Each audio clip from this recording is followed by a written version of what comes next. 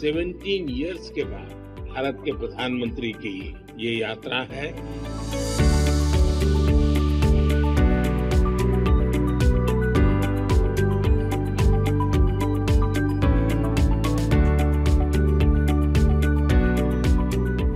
मेरे लिए खुशी की बात है कि मेरे तीसरे टर्म मुझे प्रारंभ में ही नाइजीरिया आने का अवसर मिला है और आपके भव्य स्वागत का मेजबानी का सौभाग्य मिला। है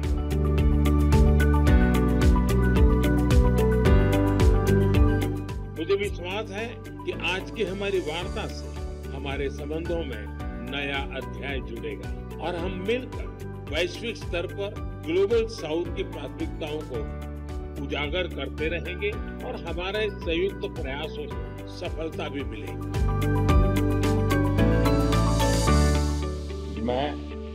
सम्मान को, विनम्रता और आदर भाव से स्वीकार करता है। और इस सम्मान को 140 करोड़ भारतवासियों और भारत नाइजीरिया की गहरी मित्रता को समर्पित करता हूँ।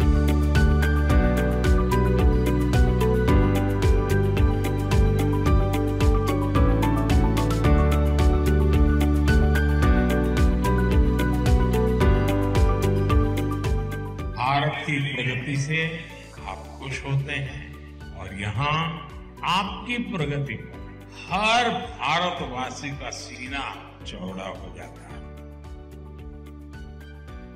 चौड़ा हो गए कितना हो? मेरा तो छप्पन हो जाता है।